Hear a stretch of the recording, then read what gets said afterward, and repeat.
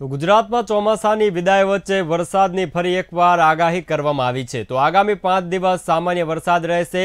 વલસાડ, નવસારી, ગીર સોમનાથમાં વરસાદની શક્યતા. આણંદ, દાહોદ, પંચમહાલ, છોટા ઉદયપુર, ડાંગ, સુરતમાં પણ સામાન્ય વરસાદની આગાહી કરવામાં આવી છે. તો ચોમાસાની વિદાય વચ્ચે ફરી એકવાર વરસાદની આગાહી.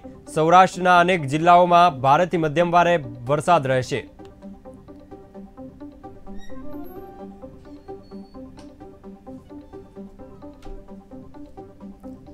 તો હવામાન વિભાગ દ્વારા મહત્વની આગાહી વલસાડ, નવસારી, ગીર સોમનાથ, આણંદ, દાહોદ, પંચમહાલ અને છોટા ઉદયપુર જેવા જિલ્લાઓમાં સામાન્ય વરસાદની આગાહી કરવામાં આવી છે.